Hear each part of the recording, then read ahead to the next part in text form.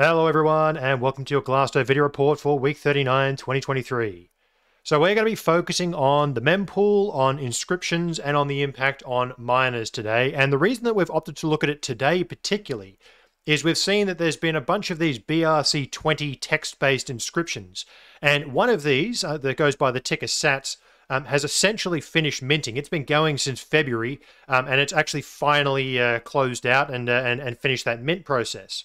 So over the last seven months, we have seen inscriptions be a significant buyer of block space. And what we're basically going to do is just take a bit of a snapshot on where we are at the end of that kind of period of time, arguably the end of what we're going to call wave two. And then we can really have a bit of a foundation to assess what inscriptions mean for miner revenue, for block for block rewards, all of these things moving forward. So what we're going to be diving in today is starting from the mempool, which is obviously the first time that the network sees about a transaction. We're going to explore how inscriptions actually show up on chain and uh, really make a differentiation between data size and transaction counts, which is going to be an interesting thing. We'll explore that in more detail. I'm going to help illustrate a bit of a, you know, now that we've got seven months of data, we have a better view on how inscriptions actually buy block space, want of a better term. And we have a bit of an analogy and a framework on how we can think about them moving forward. And we're going to close out by how this actually looks relative to miners. Now, why this is really important is according to our latest hash rate estimates and block time intervals, the halving is about 206 days away, which means that for you know, for the Bitcoin uh, environment, the halving is obviously a, uh, a, significant milestone, but not so much if you're a miner and your revenue is going to get cut in half. So really having a look and seeing have, have inscriptions and this extra fee revenue actually done anything to offset that. So as always, please do give us a rate, a share, and a subscribe. It does help this channel get to more people. And without further ado, let's get stuck right into the analysis. Okay, so here we are in our week on chain 39 dashboard. And as I said at the start, we are going to begin with the mempool. Now, it's really important to remember that there is no single mempool in Bitcoin. The mempool is individual to each node, and each node has a particular set of rules. Now, this is the Glassnode mempool, and we have the default 300 megabytes total size. There are other uh, mempools out there and other mempool explorers that will have a much larger to capture more data. In our instance, we're essentially capturing what is the default mempool going to see. Now, there's another important thing to start off with. This first metric up the top here is the total size of transactions. So this is that data footprint. When I talk about the word size in this session, think bytes. How many bytes of data are we talking about? And why this is important? Inscriptions really came into the i mean they, they were kind of started in february and this is when it was mostly this is wave one and it was mostly images files sound files mostly it was images kind of that first emergence of ordinals and nfts on bitcoin. Now as we came into may that actually changed. That footprint has largely become text-based inscriptions. We're going to explore this in a lot more detail but what you'll see is that note that the data footprint, our mempool was full from a data perspective, you know, arguably with one kind of clearing moment, but our mempool has essentially been full from a data perspective since February. There has been enough data in there, but remember that images are a larger file size to text. So if we now look at this is the same mempool, but it's looking at it in terms of the number of transactions. So just for easy um, uh, kind of computation here, we have a fixed 300 megabyte mempool. Now, if you have a bunch of image files which are large, you know, a couple of hundred kilobytes, um, those image files are going to be less. You're going to have less of them to fill up that same 300 megabytes. Now, what you can see is that in April and May, this is when text-based inscriptions and these BRC20 token um, uh, things showed up. In May, note that the transactions, we had a full mempool from February in terms of data, but it really filled up in terms of transactions from May onwards, and it's essentially been full ever since. So what this is telling us is that there are more transactions per byte available in the mempool at the current moment. And it really tells you that since May, there's been a dominance of very small transactions all packing into that 300 megabytes. So this first chart here is looking at the number of new inscriptions. Now, back here when these blew up, this was enormous. We were looking at back at, uh, I think when Ordinals first came out, we did a report uh, back in February. And back then it was just all images. And it's almost like the Bitcoin chart. Back then, this was significant and large. Well, text based inscriptions have absolutely blown it out of the water. By far and away, text inscriptions in these BRC20 tokens have been the most significant buyer of block space. Um, certainly in terms of transaction count. Now, it gets really interesting. We're going to keep exploring this, but uh, there's a lot of interesting dynamics coming up. So you can see here, this is the percent of how many transactions were confirmed. Now, on the axis here, you can see at the top, we're talking about 60%, 50%, 40%. So images were, you know, let's say 7.5%, 5%, right? They were only buying a small proportion of the overall transactions. The other 95%, you know, thereabouts was the standard monetary transfers that Bitcoin has historically been used for. Now, these text based inscriptions, remember, they're much smaller in terms of their data footprint. So there's a lot more of them per unit of data. And they have been hitting between 40 and 60% of blocks being full of these transactions. So, and it gets even more interesting than this. Remember, this is on a transaction count basis. If you look at the block, there's lots and lots and lots of these transactions. But as we can see here, they're significantly smaller. You can fit a lot more text-based inscriptions in the same space as a standard monetary or a standard uh, or a, um, a text uh, image-based inscription. Sorry. So there's kind of lots of these things, but they're really really small. So a really interesting dynamic is starting to emerge. Now, because of this data, and there's also there's a there's a layer that I won't go into the full details of um, regarding SegWit. Um, SegWit has a dual data structure. There's all the transaction data, you know, where it's going, how many coins are being sent, the UTXO. And then there's the witness data. And this is where inscriptions are being put inside of. This is the signature side of the equation. Now, because for a long story short, those the data that's in that SegWit component, the signature component, it gets a discount in terms of how much you can put in there essentially.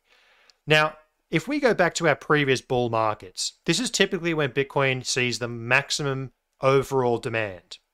So this is the number of transactions confirmed each day. And because the block is essentially capped in terms of its size, you can only fit so many transactions in. So at the bull market peaks and these periods of extreme euphoria and excitement and lots of things happening, the blocks are essentially full. And historically, we were getting somewhere, let's just say 400,000 transactions was the maximum per day. Well, because we can pack so many of these inscriptions in, particularly the text ones, that has been blown out. We got to 550,000, a significant increase, and we punched another one this week. So we have managed to fit far more transactions. And you can see the magnitude of this, right? This was kind of a, a law of physics until we found another way to pack more and more transactions into these blocks. Now, another way to visualize that same concept is the average number of transactions per block. So back in the day, we could fit something like two and a half thousand transactions per block. That's what would classify as a full block. Um, and in SegWit, that's basically 4,000 weight units. Again, I won't go into the full details there because it's uh, probably a bit too nuanced. But uh, just think about this in terms of the amount of available space. When a block was full, you had somewhere between 2,500 and 2,200 um, transactions.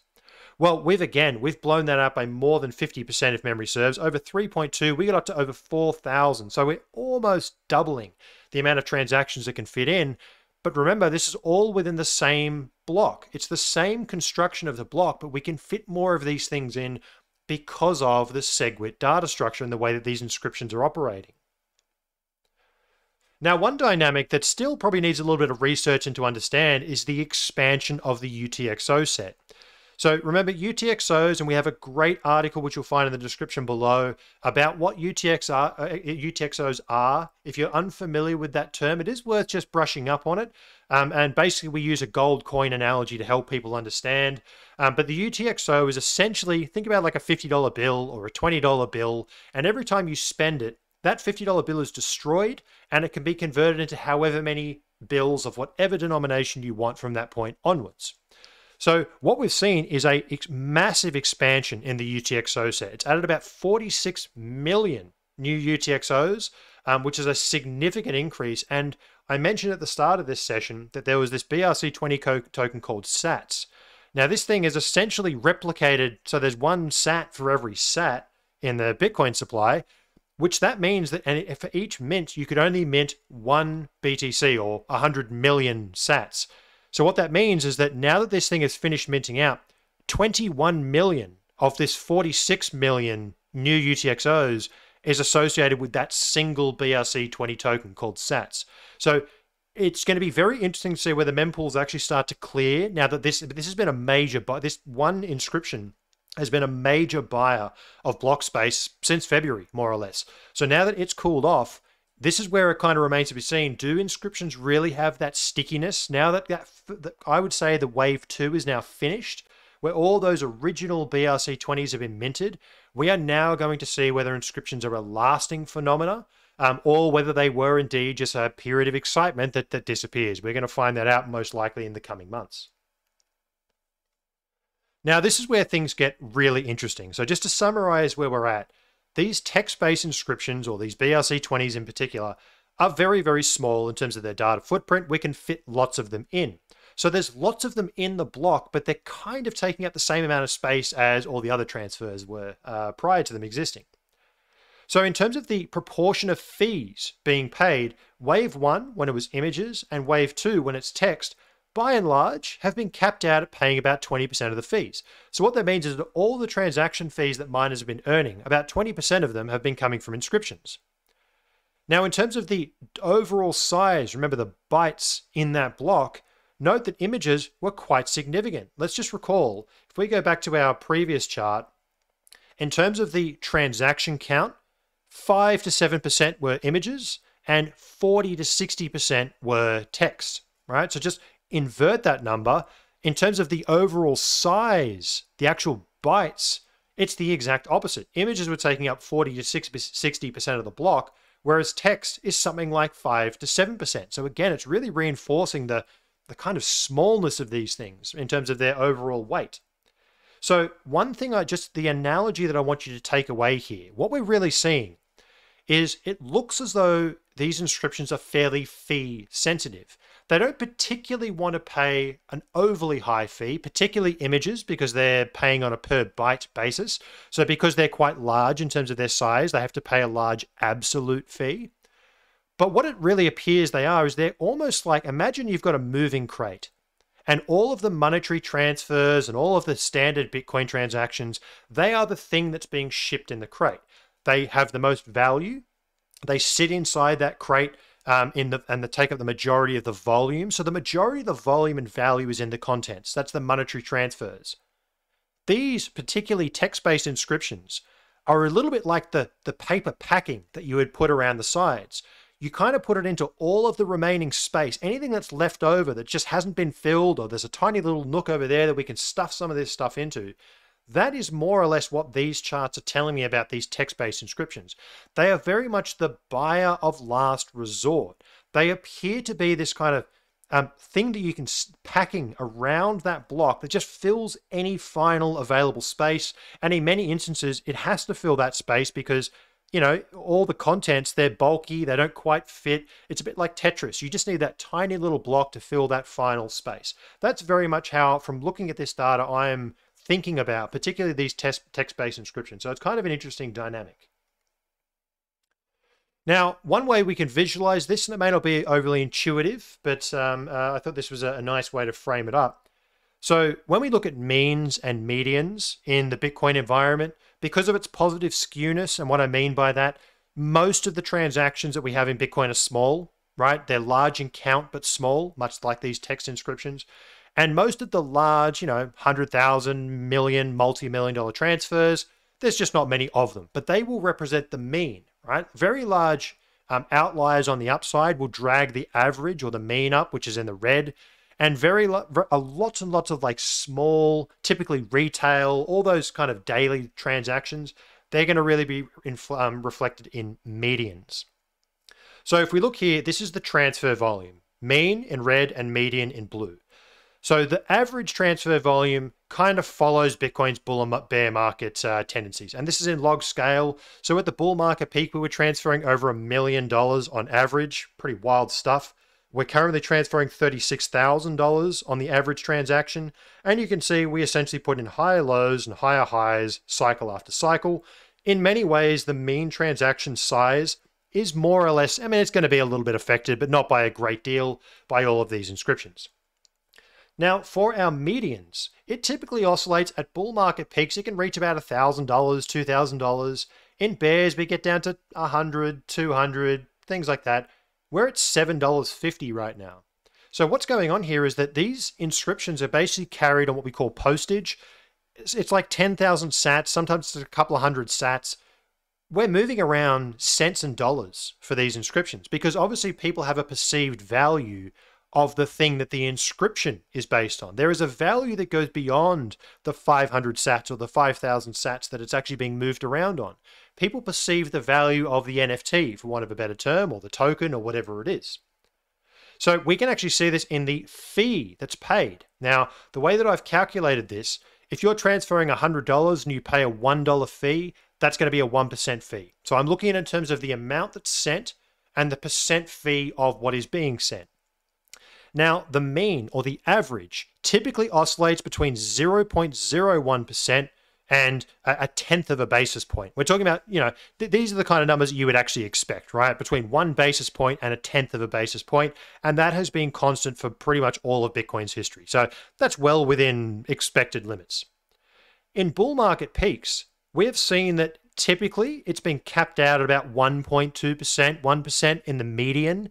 So this is kind of the peak urgency. People aren't really thinking so much about transaction fees. They just want to get their coins onto an exchange. At times like that, we get to like 1%. Most of the time, it's around 0.1%. That's kind of the typical level. Well, note that particularly on that fee spike in March, we got up over 50%, and we're currently at 10%. So what we're seeing is that people are willing to pay extremely high fees because they're only moving around 500 sats, but they believe that the value of the inscription is more than the sats that it's attached to. It's this really interesting dynamic where we're seeing UTXOs have a value that's actually not really measurable because it's an NFT or it's a token or it's it's some more subjective component. So um, just eh, you know, really, what these charts are doing is just helping present this this kind of case that there is a bit of a shift here. We can certainly use our means to really assess what's going on in kind of the Bitcoin economy, the monetary transfers. But when we're thinking about inscriptions, we probably have to look a little bit more at the median because it's going to be really small, but lots and lots of them. So shifting gears, just to close this piece out, we're going to focus on the miners because as we look at this, what we're basically seeing is that there is a bit of an uptick in fees. They're taking they're paying about 20% of the fees. It's kind of like packing around the edges of the box. So now we really truly have very, very dense and full blocks. And it does remain to be seen, now that this SATS uh, BRC20 is minted out, does this actually stand the test of time? Now, in terms of the actual impact on mining revenues, on the left here, the blue curve is the total amount of fees and the orange is the percent of the revenue that comes from fees. So, high level, you can see that in bear markets, the fee market has historically gone to sleep. We're talking about something around 20, eh, 12 to 20 Bitcoin per day. Now, we've seen it tick up to about 40 or 48, sometimes 50. So, let's just say, for argument's sake, it's roughly a doubling. So, we've seen about a 2x but it's still relatively small. We're still only talking about 40 to 50 Bitcoin per day, which, you know, the block reward 6.25. So we're talking about adding, what is it, maybe six, seven, eight blocks in terms of overall uh, fee revenue. It, the percent that's coming from fees has historically bottomed around 1% of the overall uh, um, overall reward. That's now jumped to 4%. So look, that's a meaningful uptick if you look at it from, you know, comparing one for one. But at the end of the day, if we are coming towards the end of the kind of mania phase, or at least wave two of inscriptions, what we've seen is that yes, they're adding positive free pressure. So it's a it's a thumbs up. But it's not a five thumbs up, right? It's not get the crowd cheering. It's telling us that we've got a very, very light baseload buyer of cheap block space but it's not really going to turn the tides in terms of miner revenue. Certainly not with a halving on the horizon. We have not doubled miner revenues. We haven't, you know, we've, we've literally put it up um, by a couple of blocks per day. Now, the tough case when it comes to miners is that in that time, since February, when inscriptions came out, hash rate is up 50%. So the competition fighting over this tiny little uptick in inscription revenue has you know we've added 50% to our overall mining uh, uh, mining pressure. And if we look at it from a hash price perspective, this has to be the most brutal chart in all of Bitcoin. Um, this is in orange BTC reward per exahash. and in blue, US dollars per exahash. Now, this is in log scale, and this thing goes down and down and down and down, and we're in the process of breaking to new all time lows. So, essentially, per exahash on the network, miners are earning the least they've ever earned on both a USD and a BTC basis. Now, where this is really interesting, and this is not the, the place we'll go into the security budget, but what is fascinating to me is that our hash price, the reward per exahash, is the lowest it's ever been, but our hash rate is at all time high. And what this is telling us is that miners still, even though there's a lot of concerns about the security budget and people talk about these things, the reality of the situation is that miners still have enough to both run their rigs and invest in more, newer, better, better infrastructure machines. We are still seeing capex investment in the mining cycle, um, which is driving that competition up. New rigs come online, new research and development for new ASICs comes online. Now, we will, again, we will see how this plays out because uh, obviously with the halving coming, um, these dynamics continue to shift. Um, and certainly we can see that inscriptions haven't really moved the needle in a sustainable way uh, in terms of their fee revenue. But again, all of these things, it's the free market trying to work it out. So coming across and closing out with uh, miner pain points, right? Now with the halving, the halving is about 206 days away based on our current uh, block estimates. So how do we know where the stress points are for miners? Well, we've got two models that we're going to look at here. The first one is a simple log-log regression between difficulty and market cap. Why I like this model is, first of all, the, R, the, the, the correlation is 95% in terms of the R squared. Um, and really, everything in the mining world from you know from the miner's salary to the power contract to the geographical location to you know all of the information known about mining is baked down to one one number difficulty difficulty is the price to mine bitcoin and what we've essentially done is say well let's correlate the market cap which obviously is the USD that's the perceived incentive for miners by the difficulty which is how hard it is to actually get it out of the ground you know for want of a better term now that with that correlation, we're looking for what is kind of the average. What is the middle? Where is the typical miner? What is that stress point of balance? And right now it's at 24,000. So it's about a 7% premium where we currently are, meaning miners are probably on the edge of their seats right now. We have another model which looks at it from how much um, issuance do you earn per unit of difficulty. So it's kind of like what is the cost versus the reward? It's kind of another way to think about it. Now, this model uses a simple curve fit. So the red curve down the bottom here is the most efficient miners. It's curve fit to bear market bottoms. It's kind of telling us where is the survivor level. The miners that are super hardcore, have the absolute best balance sheet, and are ready to survive. What's an approximate cost for them? Well, now that we've got the most efficient miner, we can add our purple curve, which is the post halving most efficient miner. Well, that's currently down at 15,000 for the most um, efficient miners, which, you know, at 26,000, happy days. But that obviously jumps to over 30,000, which we are underneath. So if the Bitcoin price doesn't get above 30,000, and probably with a bit of margin to, to, to boot, we are most likely going to see some real stress enter the mining industry as we get closer to the halving. And once we go through the halving, there will be a lot of miners as the price hasn't appreciated that are probably going to be under stress. So, uh, just putting a flag in it now. Depending on how things are looking, we will certainly be revisiting this topic because I think the uh, the mining topic is certainly one a lot of people have interest in. Um, so we will explore this in more detail, certainly as we get closer to the halving, because that's uh, obviously where these things really come to bear. Um, and you can actually relate the middle, the ge um, geometric mean between these two is the orange. It actually trades very, very closely to our difficulty regression model. So you can almost use those two as a, uh, as a bit of a balance. So thanks for tuning in for that session, folks. Hopefully you found that useful and a little bit different. Um, my big takeaway from inscriptions is that they are a net positive. They're kind of a cheap block space buyer of last resort. They're going to stuff around all the final edges and just completely fill the Tetris block. They appear to be willing to buy cheap block space. They're not. They don't appear to be displacing monetary transfers. So in that case, they're relatively benign. The question is, have they really moved the needle? They're positive, but have they really moved the needle in terms of fees? My assessment is not yet. Um, and are they going to be sustainable? Now that we've kind of seen the end of wave two, we will probably find out over coming months. So, uh, something to think about, something to contemplate, and uh, hopefully have a great week. I'll see you in the next one. Cheers.